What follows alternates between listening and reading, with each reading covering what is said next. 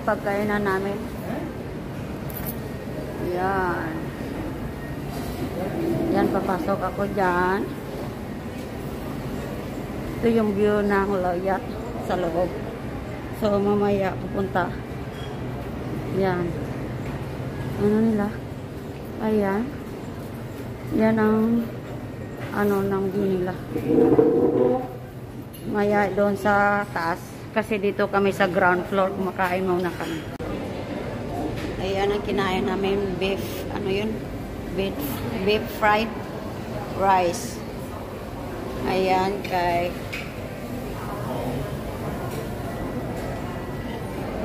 Ano yun siya? Kampong? Mm. Kang, kangkong?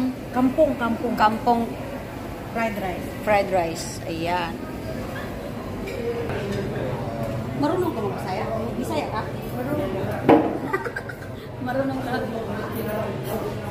Okay guys, kain muna tayo.